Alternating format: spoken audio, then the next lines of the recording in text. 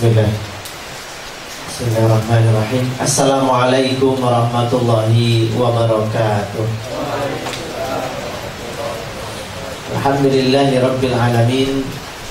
أرسل رسوله بالهدى والدين الحق ليظهره على الدين كله وكفى بالله شهيدا.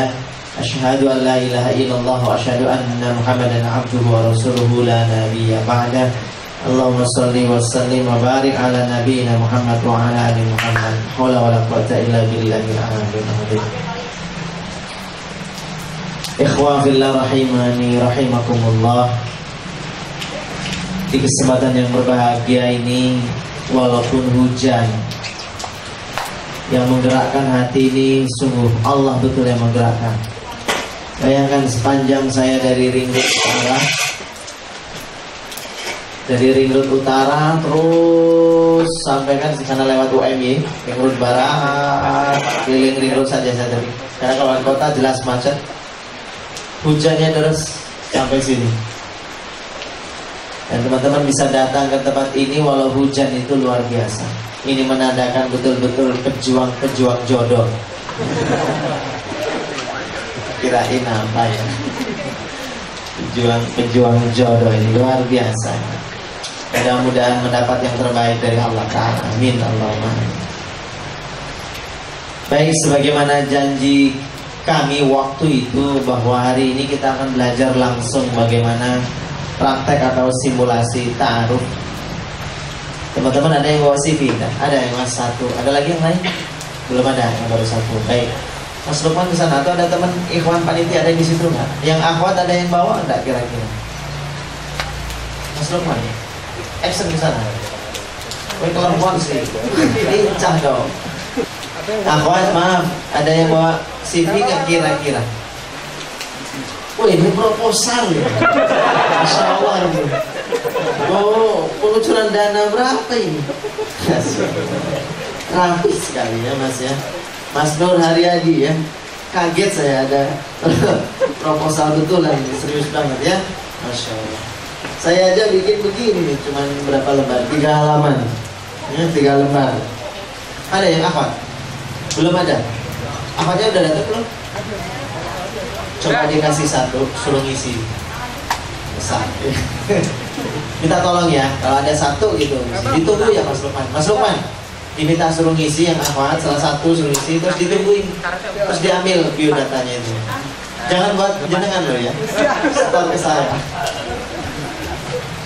Baik teman-teman semua yang dimuliakan Allah di Allah Subhanahu wa taala. Boleh Mas ya. Ini kita akan membedah salah satu contoh ini, proposal kita bedah. Apakah sudah layak dapat jodoh atau belum kan? Dari sini kita lihat. Apa apa namanya belajar kita?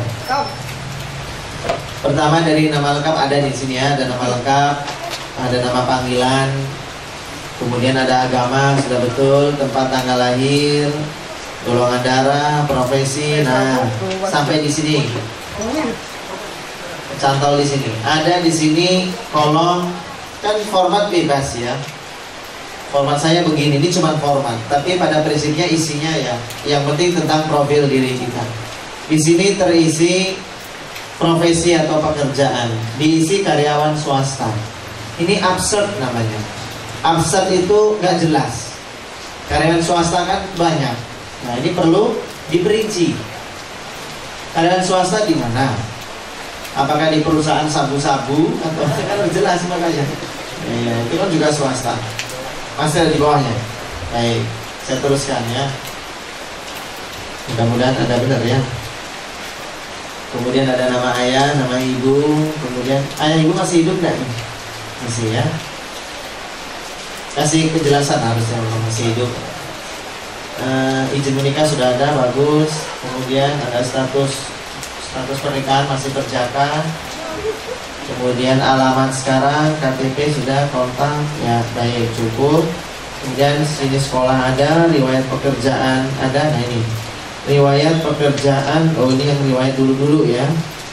Kemudian ada profil diri moto hidup Kemudian ada hobi, ada buku bacaan favorit.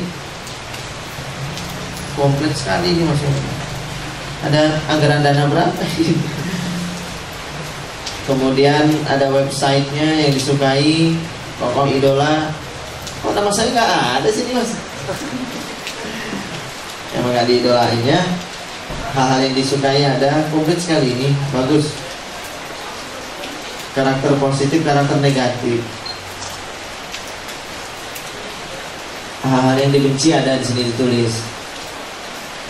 Bagus ditulis begini. Kemudian ada karakter negatif. Nah ini bagus nih. Contoh ada penjelasan begini. Pergerakan jamaah yang diikuti. Maksudnya uh, condongnya ke mana ini? Ya masalah uh, afiliasi dakwahnya itu kira-kira ke mana?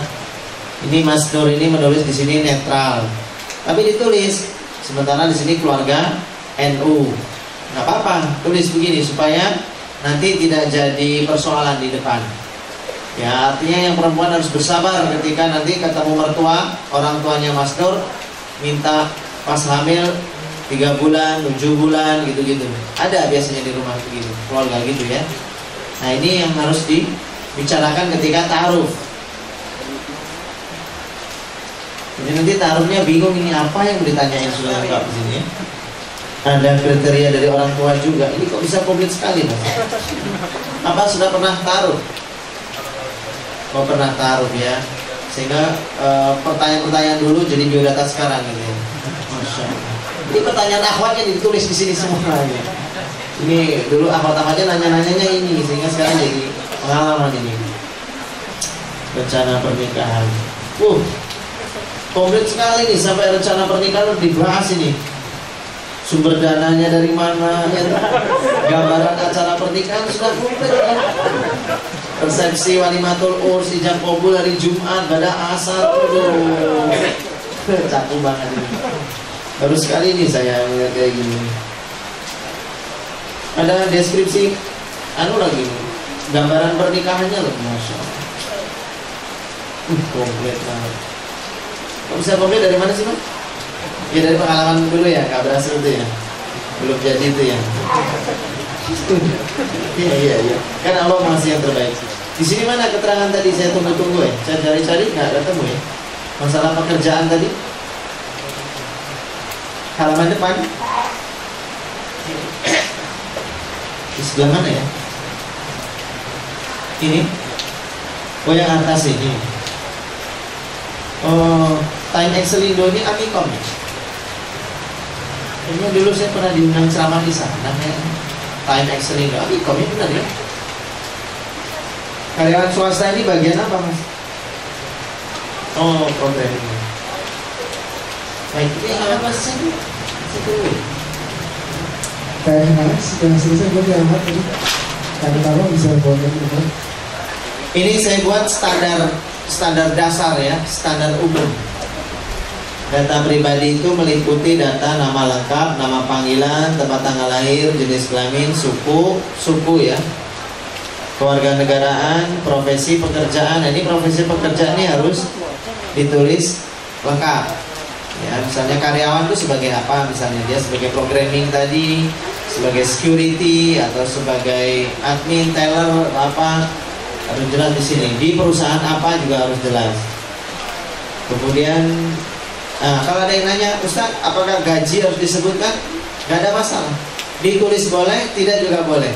Kalau ditulis merasa gak nyaman, ya nanti bagian di sesi di sesi tanya jawab. Ketika nanti ada taarufnya, tanya-tanya, pertanyaannya gini, Ustaz, sopan nggak perempuan nanyain masalah penghasilan? Tidak ada masalah. Boleh-boleh saja. Karena mungkin dia ingin mengukur uh, si apa ya kemampuan laki-laki ini dan dia ingin menyesuaikan dirinya. Apakah saya nanti perlu bekerja atau tidak? Apakah saya bagaimana? Itu dia tanya itu tidak ada maksud apa-apa. Jangan dipandang ini perempuan kok nanya gaji lagi. Oh gitu. Jadi kita mikir dunia ah perempuan ini gitu. Tidak ya. Jangan sampai kita berpikir seperti itu. Itu uh, lumrah saja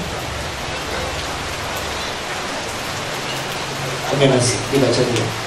Silahkan dibaca-baca ya. Yang kepada akhwat yang saya tadi dikasih yang dapat biodata atas nama Mas Nur. Nur siapa tadi? Nus Haryadi, Nur Haryadi. Kepada mbaknya tadi yang dapat biodatanya Mas Nur Haryadi mohon dibaca dipelajari. Ya mohon dibaca dan dipelajari. Sambil mendengarkan yang saya sampaikan ini nah itu tadi masalah pekerjaan jadi bertanya gaji itu nggak apa-apa Walaupun ada wanita-wanita yang memang nggak mementingkan itu hal nggak penting gaji beberapa pun asal dia udah siap nikah, insya Allah dia akan tahu diri kok bagaimana bertanggung jawab terhadap istri. Cuman kalau yang tanya itu wajar. Bisa jadi bukan dia yang mau bertanya, tapi orang tuanya yang yang nanyain, nitip lewat dia. Bisa jadi. No, no, bilang sama anaknya yang perempuan, no, tolong tanyakan ke calonmu itu, memang gajinya berapa tiap bulan, itu loh. Ini sebagai ukuran juga apakah dia mungkin orang tuanya mikir oh ya sudah no segitu insya Allah nanti mungkin kamu sama suamimu kontrak nggak apa-apa. Tapi kalau gaji suamimu segitu merasa keberatan mau kontrak susah tinggal sama bapak ibu nggak apa-apa sih. Nah itu tujuannya kita harus saja ya. Jangan kita ada perempuannya gitu kita anggap dia materialistis. Oh enggak. Tapi bisa jalan. mohon maaf ya. Kayak materialistis tapi bisa kemudian ada ciri fisik.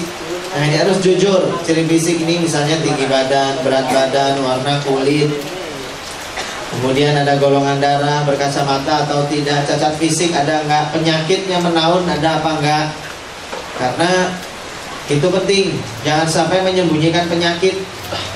Saya waktu itu dapat informasi oh iya uh, ada jamaah ya tanya ke saya ya. Itu dia kenyataan dia sendiri tuh saya sedih sekali tuh. dia menikah saya, saya gak lupa orangnya apa datang di teras dakwah atau enggak ya.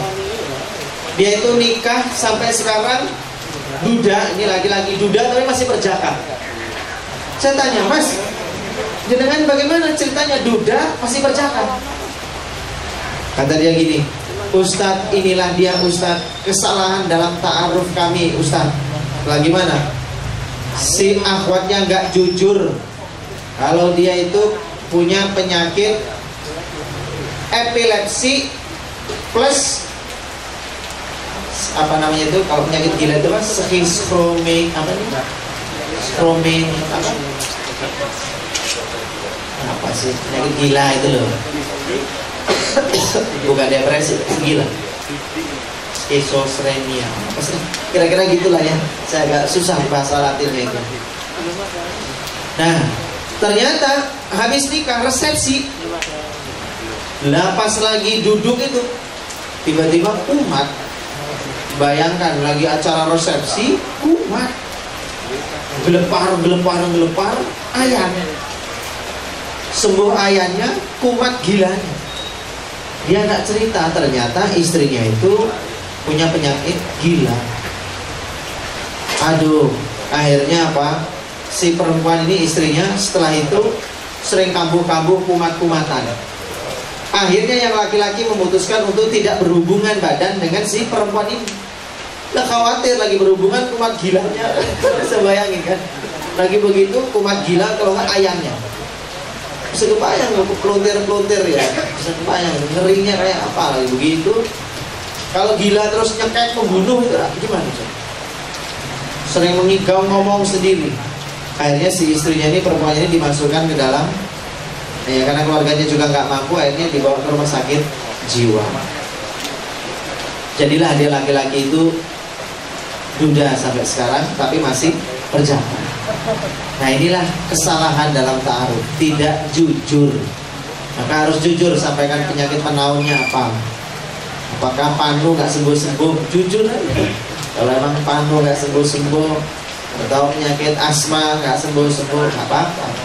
Punya kutil nggak usah disembunyikan. Ceritakan saja kalau punya kutil. Karena kutil ini penyakit yang bisa menyebar.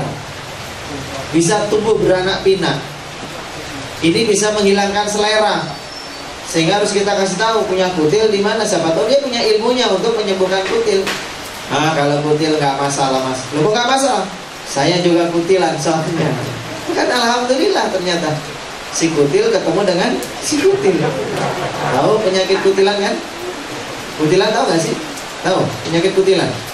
Kutil itu kutil itu penyakit yang kayak kalau orang dulu Jawa bilang itu kena darah ayam nah terus apa ya kayak tai lalat tapi hidup itu loh. Nah, tai lalat hidup terus bisa nyebar.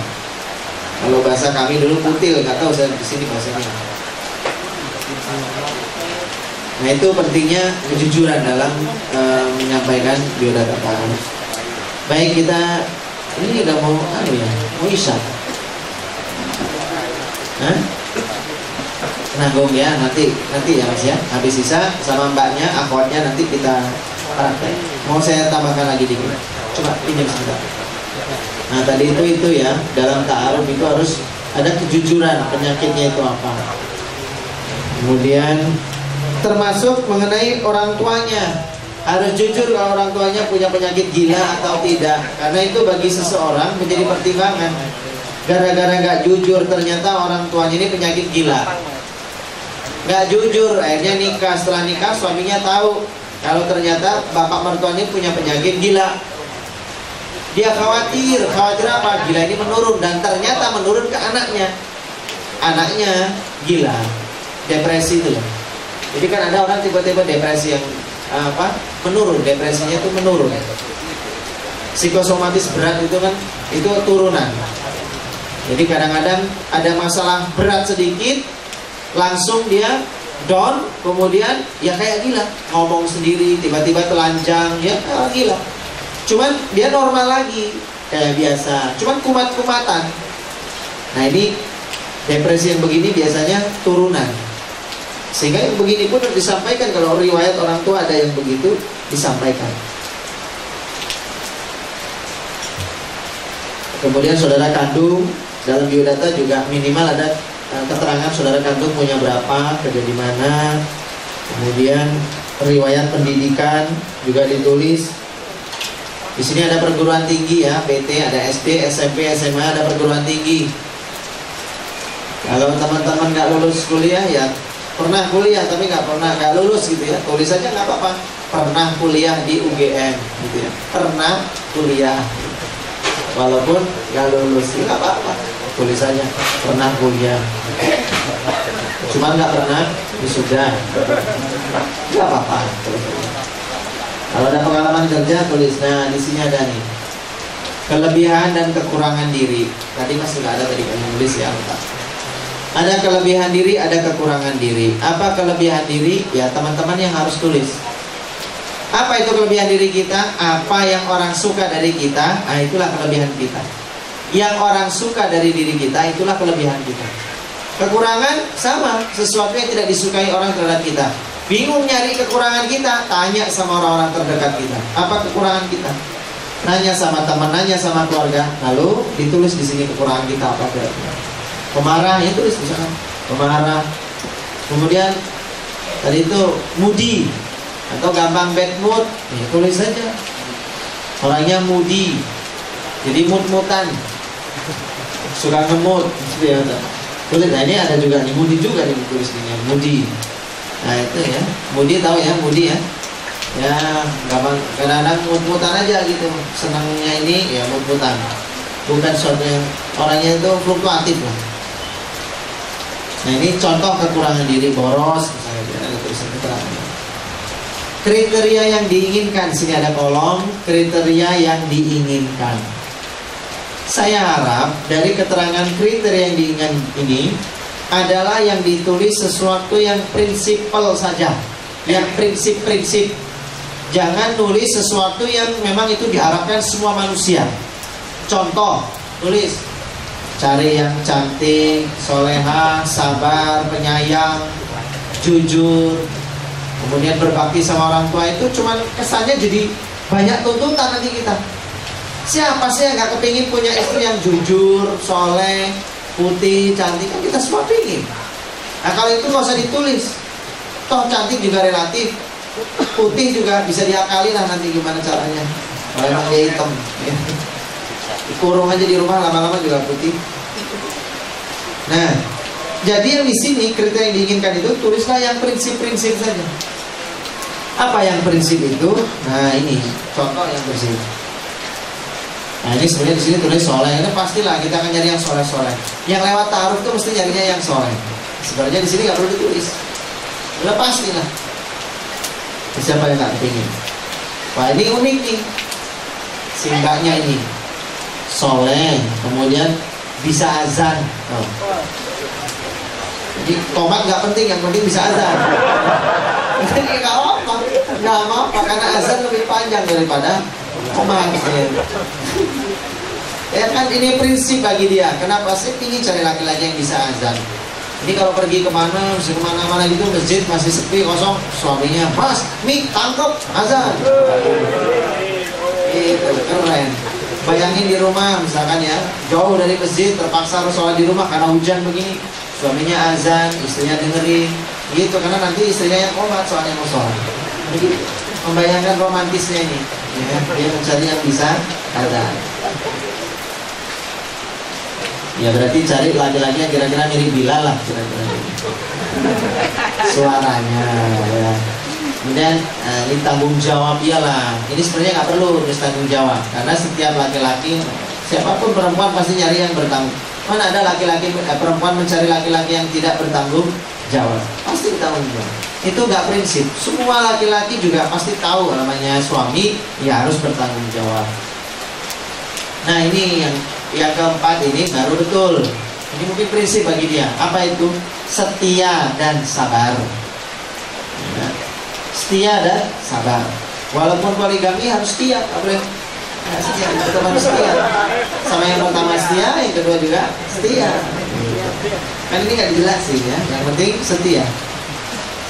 Dan sabar. Nah, kenapa sabar? Karena dia orangnya mudi. Gitu loh. Sehingga harus cari laki-laki yang bisa sabar bisa bisa memahami. Gitu. Ini prinsip yang yang, ditulis. Kriteria suami yang diinginkan baik nanti kita bersambung lagi karena sudah ada. Silakan laki-laki yang mau azan sudah ada yang nyari